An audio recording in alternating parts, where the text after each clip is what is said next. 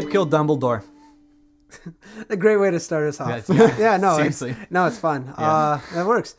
if people don't know that by now, Uh, yeah, it's kind of well within, and that's another thing that's weird about like spoilers is the fact that it's it's, hey, here's the here's the, de- uh, here's the uh, best before date for this spoiler. Yeah. sort of Would you say that it, it spoils? Stop. If it's gonna be just that, I'm gonna fucking spoil your life. actually, Zach, if you can come up with good a spoiled puns, I'll be okay with No, it. no, no, no, It's no, just how terrible that pun was. uh, upsets me. I was I was just going for the one. Okay, fine. You're just saying about how it's ruined. Something and spoiled spoils milk. Spo- something, something. You don't cry over spoiled milk. Spilled milk. Uh, Someone. Oh my god, is there a spider behind me? being hands. There's eight legs being hands. No, no, no, no. Oh, I didn't even know there was a spider behind you. I went. I made that sound. Oh my god, I thought Oh, it's in the thing now. You bastard. he's home now. He's Brody. gone, Brody. So Brody got up to kill a spider. I'm narrating right, and he kills the spider. The spider's dead, and he's now You're in my home. he's now crumpled up the tissue with the spider corpse. Luckily, it's already snowing, and it's cold enough so it's not raining. Thank you. This has been a nature moment with the satellite commanders. Your phone's in the couch. Inside the couch? God, this, what a great what a great wreck to a potentially good start. It's all being included. hey, so yeah, it's like they have they have a shelf life, which is strange to me too. Like, Yeah. I get it too, though. It's like you don't want to keep being quiet about Darth Vader being Luke Skywalker's father because you just assume most people know it. But you do meet everyone, meet people every day who don't know that fact because it just doesn't matter to them. Yeah. Right. Right. Well, that's the thing though. But if like people don't know that Darth Vader is Luke Skywalker's father right now, they could, probably couldn't care less. Yeah. Yeah. Yeah. if- yeah. If they don't know it by now, then But that being said, like I'm sure there's stuff that is old enough that that I haven't seen that I don't want spoiled for me. Mm-hmm. Like like if I ever really got into Dallas, would I really there's there's the who shot uh what's his name? What's the character's name? The the the one they did the You went to Dallas we're not for gonna know this? anything about Dallas. no, but but it's the it's the because because the Simpsons joke, right? Like who shot Oh, Mr. Burns? yeah. It was- Oh, yeah. It was it Yeah, was yeah. A, it's an old show that I thought of, and it had this. It well, the Dallas There's- like there's this episode there, was one of the biggest one of the biggest televised episodes ever. okay. That's right. Sort of thing. So that's why I went to it. Whereas. Whereas I'd be I'd be I'd be a little like upset if I found that out, but hopefully and this is my big thing with spoiler culture is that the spoiler cannot be the only content that is getting you to like what is being spoiled can't be the only thing that's getting you to watch it, right? Like you're Right. not there for the twist. You shouldn't be there for the twist. Unless you're watching an M Night Shyamalan movie. So do you want to tell me what spoiler culture is, real quick? do you do you want me to well so we're right now we're at a moment when our conversation about media has never been more saturated. Like we're everyone is talking about it. Everyone's interacting with it on a daily basis. You're on facebook you're on twitter you're saying this thing. There's so many open forums for it. you're mm-hmm. reacting live to what you're seeing? Like mm-hmm. those people who are still watching cable are like oh my god did you see that the flash mm-hmm. is wearing a new helmet? Like Is he? I, I don't know. I don't think so. Sorry. i don't think so um Fucking spoiled. Don't Yeah. need to watch the Flash. Don't need to watch the Flash now. He's Yeah. wearing a new helmet. where where it's like and then because of all this a lot of things that they're getting people to watch ways people are watching stuff now is like oh we need to get people on the big hooks like Right. like what is Game of Thrones is the one that everyone goes to. Yeah. Everyone goes to it because you have the novels and you have the show, and the show is very much done in a way where it's like something big has to happen every episode. Now, that's not entirely true because you get those episodes that are that are these big epic battles and the one episodes between them just don't happen. So yeah, Nothing- uh, with Game of Thrones, it's usually there's there's a really big mid-season episode where something big happens, and the and the last two episodes there's usually something really big. Yeah. that So, happens in those ones. just- and and in the uh, first episode of the season too. Yeah. So Just- there's usually like four. Sorry. No, there's sorry. usually like four big events that happen within a season of Game of Thrones, and then within it's sort of just moving towards those events. So in just the to- other episodes. just to narrow down uh, the definition so spoiler culture is like we want to talk about the shows but also also can't talk about we're it so is what- rabid yeah we're so rabidly against things like surprises being spoiled for us Mm-hmm. Yes. that it becomes very antagonizing Mm-hmm. and and there's nothing wrong with being like hey i kind of just want to experience this um, by myself sort of thing but if that's the case why are you watching like why are you on reddit the subreddit for game of thrones after having not seen wanna- the, yeah. the Yeah. most recent Yeah, yeah, episode because yeah. that's where people want to go to talk To, about to these go things. discuss it, yeah.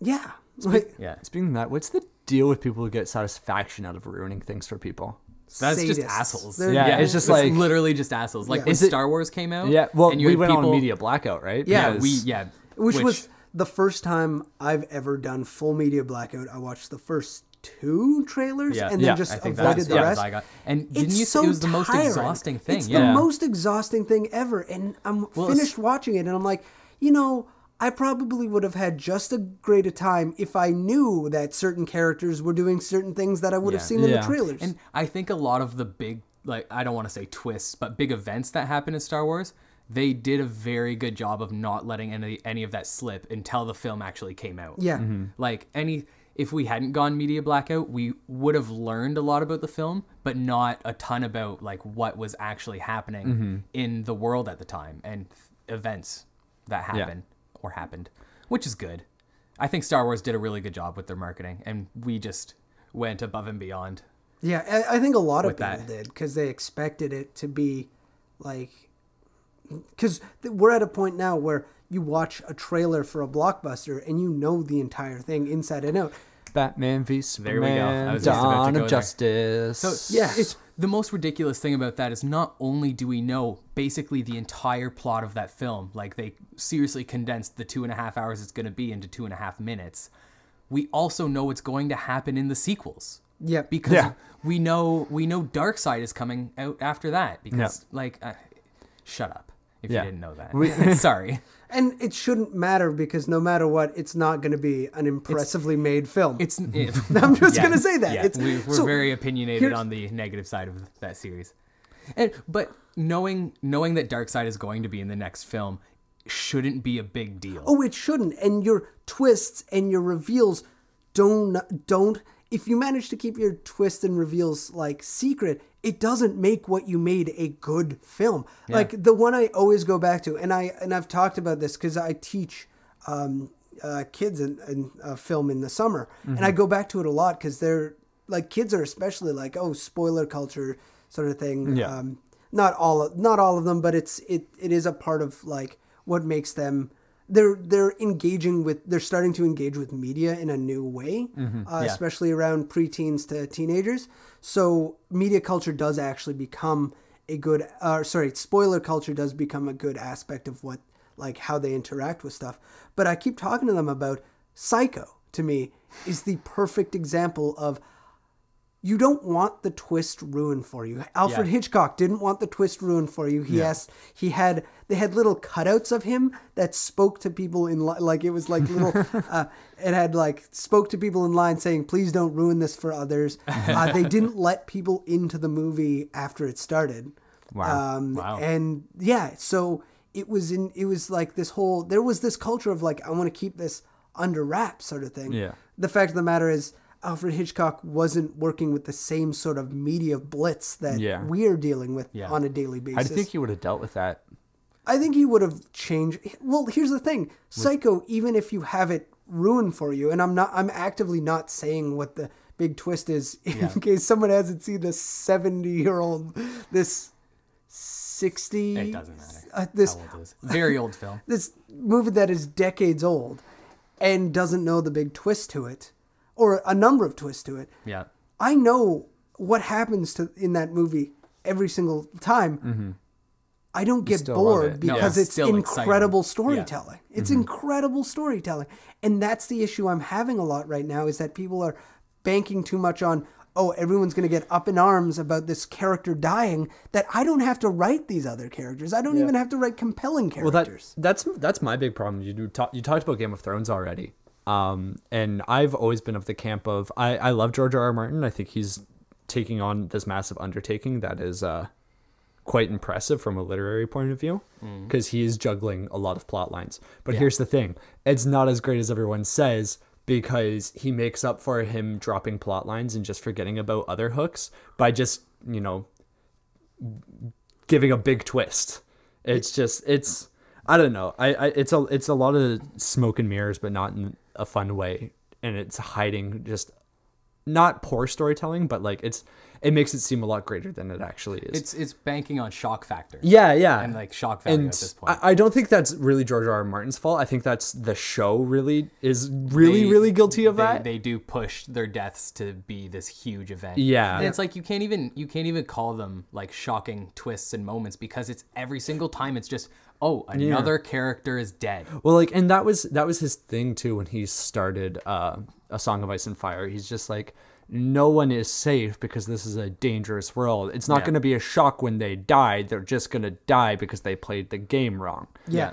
And now it's just like you won't believe which main character dies now. Which is kind of like counterintuitive to the kind of the war zone he's created, where it's it's when people die, it shouldn't be like this big dramatic thing. It should almost be like a quick little wisp of smoke. Yeah. And the audience is kind of left with this uneasy feeling of, oh my god, I can't That believe person's dead now. what he. But he he nailed that with Ned Stark's death, and then Yeah. nothing has been as like Wait, poignant Ned or Stark lasting. died? I don't I don't think I don't think we can really I was waiting the for one of us to do that. I don't think we can really put the blame on George R. R. Martin though, because a lot of the uh, the shock value of the deaths Mm-hmm. in the series comes from Fan reactions? fan reactions, like the the ability we've Mm-hmm. we've talked about this, uh, the ability to react so immediately after it happens, Mm-hmm. and the fact that it's being televised. It's it's sort of in this Hollywood esque Mm-hmm. uh, scenario now, and it sort of has to become a big big deal because Yeah. that's what television is. It's it's a series of big events. It's the Super Yeah. Bowl. It's the Oscars, the Grammys, the fucking Emmys. The I don't I don't watch Golden Globes. they Yeah. well, the the Teen Choice Awards, the VMAs. it's television is based on events. So when you have a TV series that doesn't cash into that, it's mm-hmm. almost not even a television series anymore because that's Yeah. that's not what tel- television is. Television can't be it can't be quiet and slow. It's got to be always ramping up to the next big thing. but even like uh it's yeah george r. R. martin's definitely not all to blame but even then like the red wedding happens in the books Yeah. happens a little bit differently Yeah. um but the red wedding happens and it's supposed to be it, it it's definitely supposed to be a cataclysmic event but at the same time it's supposed to be a byproduct of war and espionage Yeah. And it just even in the books it becomes just this cataclysmic event that like everyone's just like oh everything is wrong now and like it just kind of focuses on that for a little bit too long where blair's like it should be just a byproduct of war we should be moving Well, forward Don't and trying to don't to forget that. Uh, are are we gonna dance around the red wedding as well? Are we gonna not talk about what actually happens in it? What? I'm sorry. i don't know Honestly, Nah. if you're listening to this podcast and you, well, no, I don't want to do that. So so, fuck. No, this is a spoiler podcast. your fucking favorites die let's So- talk about it Uh, there will be a disclaimer. I'm gonna make sure there's a disclaimer. So Robb Stark, Yeah. who is the biggest, the it's the biggest deal that he Mm-hmm. gets killed during the Red Wedding. You, you can't forget he was the Golden Boy Mm-hmm. of the North.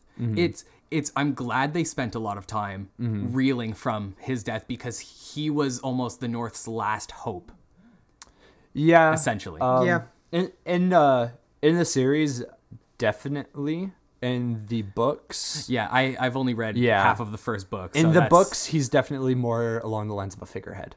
But Catelyn also dies, and that's the real important thing because Catelyn's the is the puppet master who is Right. controlling right? everything. Yeah, because Robb in the book doesn't even has have his own chapters, if I'm correct. No, he- Um, he does, does. but they're few and far beti- between. Right. It's mostly most, Catelyn. most of his his Robb storyline is viewed through Catelyn. yeah, Robb. Uh, Robb gets his story, his chapters to develop his love interest. I think that's about it. Ah, okay. and most of his achievements are spoken through other characters and hearsay, yeah. which is Right. a cool thing about Yeah. it because like he's built up like this, but when in reality he wasn't as big of a deal in the North. He was the king of the North, but it was literally just a bunch of banners rallying under him because of his father, not because of him. Yeah. Exactly. And I think that's part Yeah. of what makes him the golden boy. People Yeah. look at him and sort of put him on that pedestal, Yeah. right?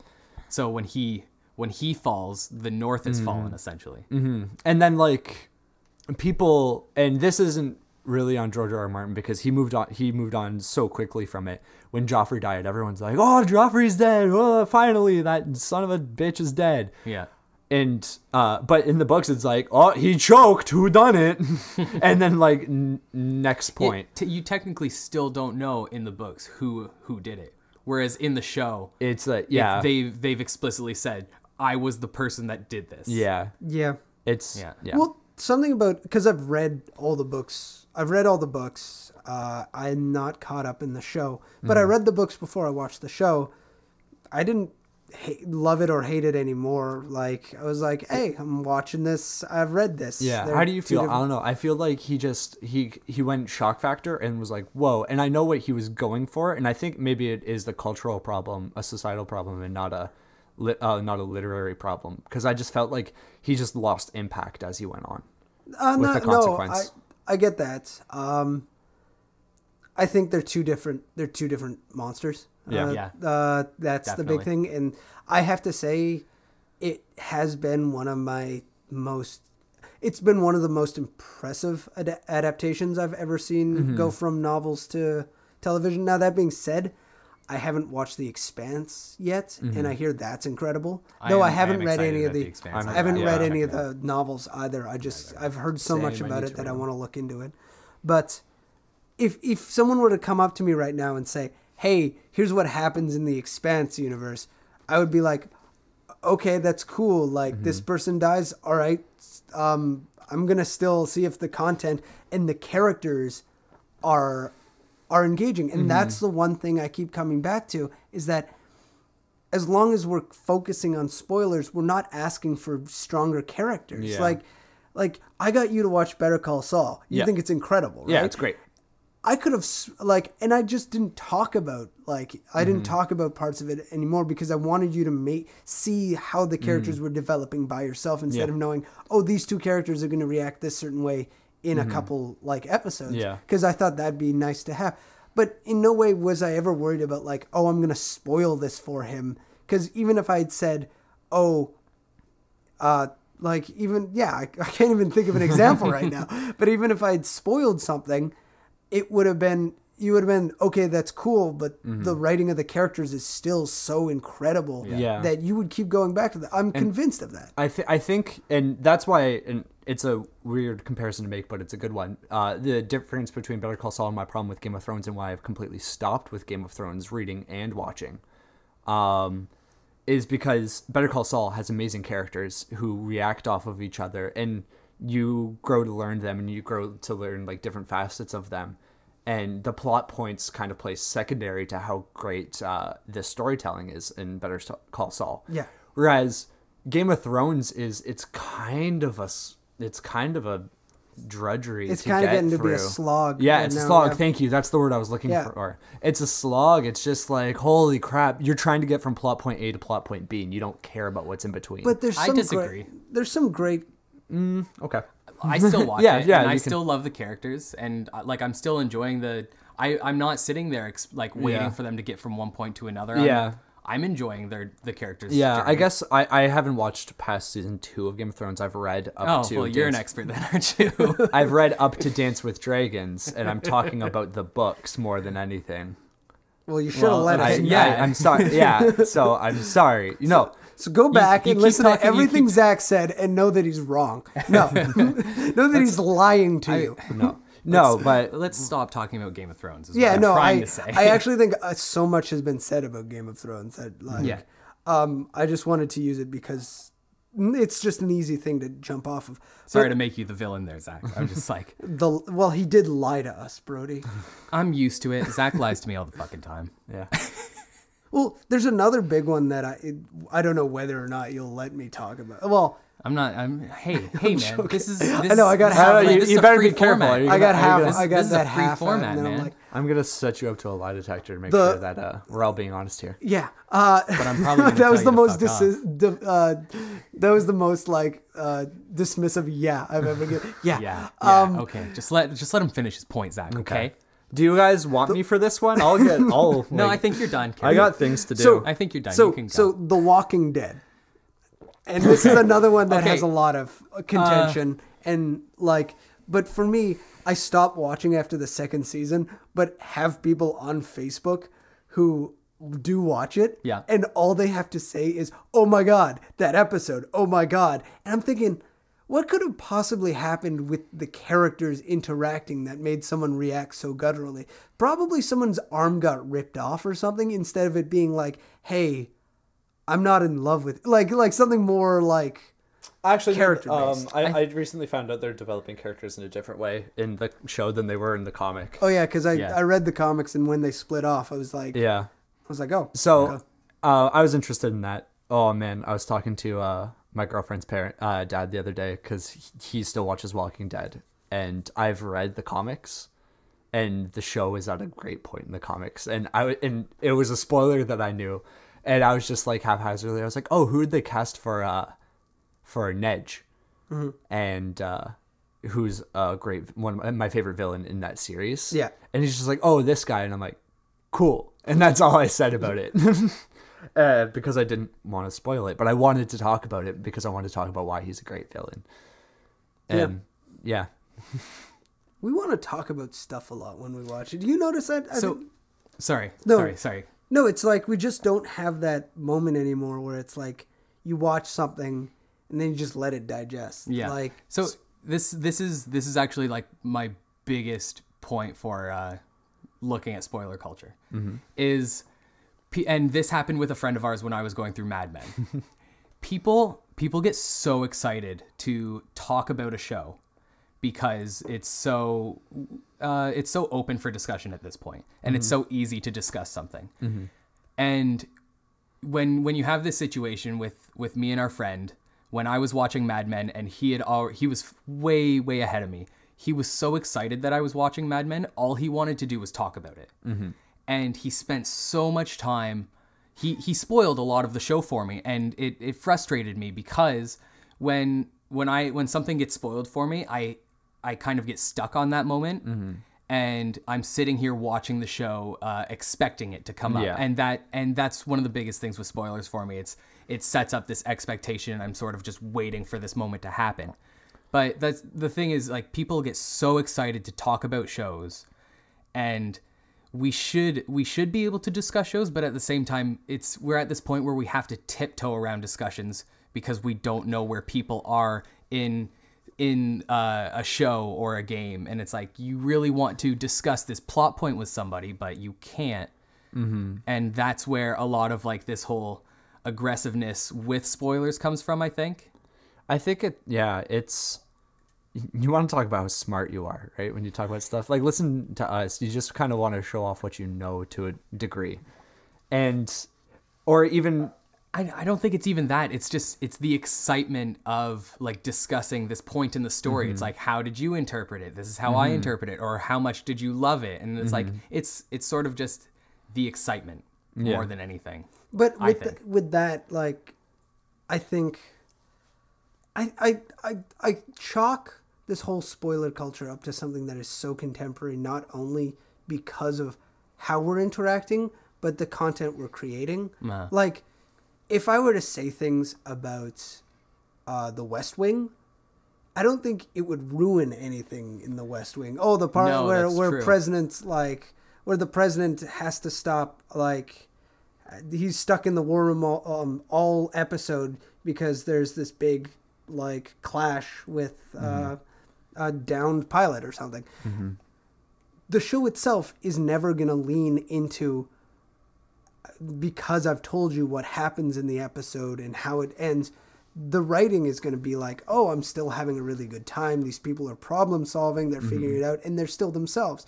Whereas you were talking about having Mad Men spoiled for you, which mm-hmm. is interesting to me because I've always put Mad Men up there as you can't really spoil well Mad Men and for no me. no you're right it's you're right it was um the way he would he would discuss plot points that I hadn't gotten to yet. And it was like I was saying, I would be sitting there, ex- like waiting for those plot points. You'd at that see point. the little Yeah. things and like and it starts to, to it. deter, not deter, but like uh, cheapen the way I'm watching the show because I'm not be I'm not able to sit there and enjoy it and like not care about what's coming up because I don't know Mm-hmm. because I'm sitting there knowing something's going to happen and I'm sitting there going when is this going to happen? Yeah, and it's like, like- how are we going to get there it's like Lane's suicide. You're watching it. You're watching the show and you're trying to enjoy all of it, and then you just see a part and you're just like, well.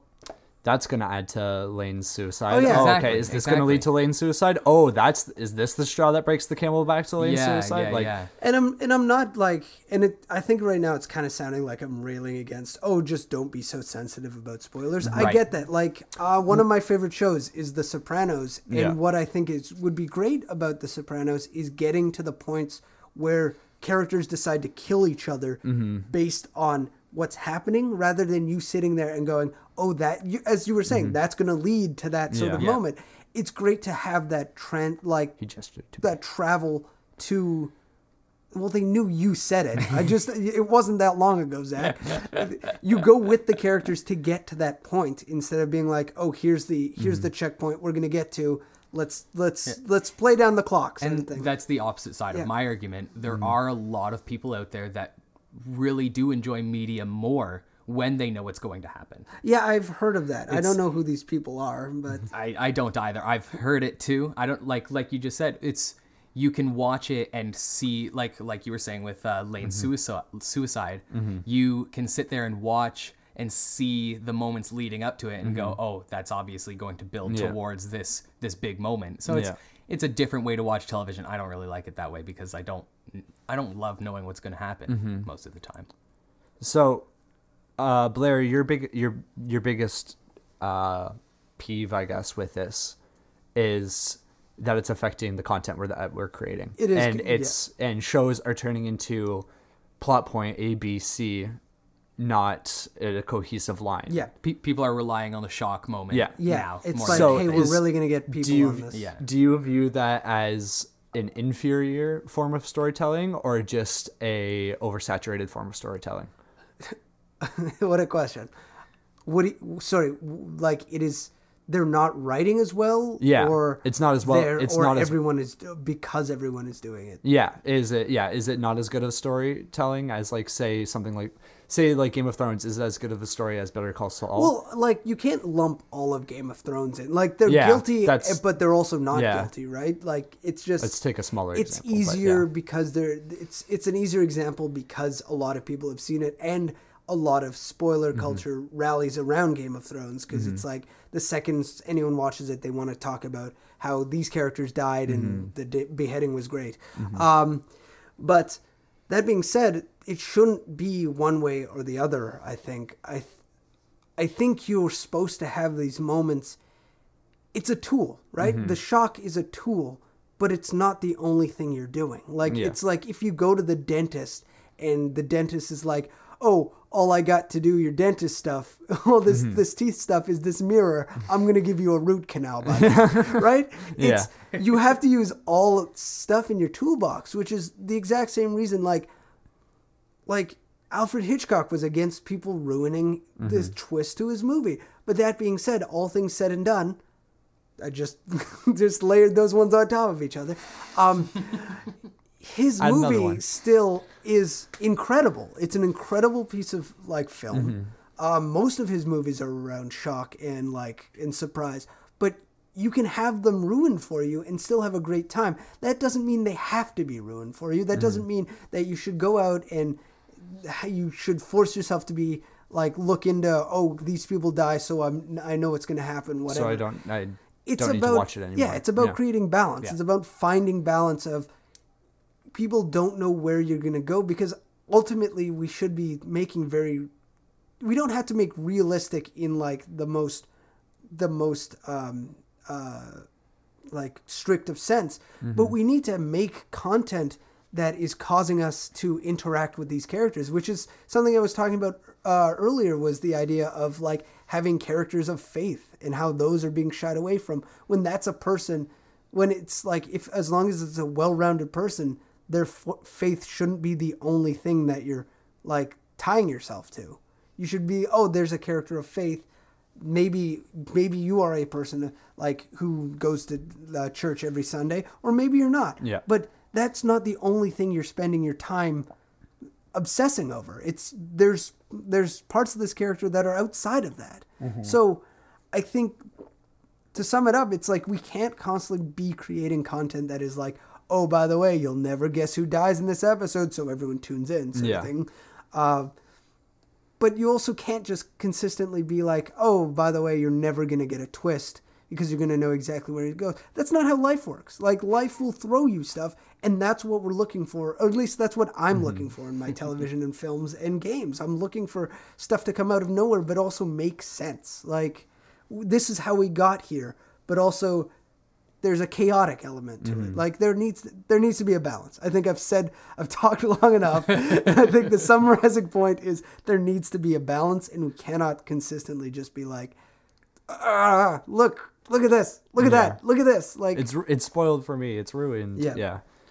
It's the reason I ask that is because I I view uh formulaic like plot point A B C. You won't believe what happens next. Um, to be a form of like watching TV as a puzzle, and it's just like the points in between. Are you building that puzzle as the viewer? And then you have the aha moment with the climax. well, do you hate that?